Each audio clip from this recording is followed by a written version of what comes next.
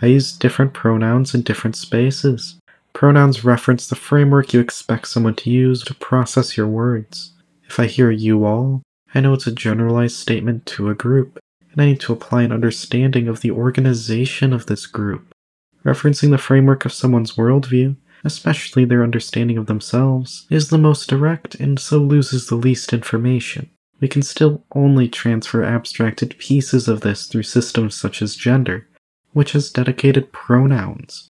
Which piece is relevant can change depending on the form of organization you are in and a role within it.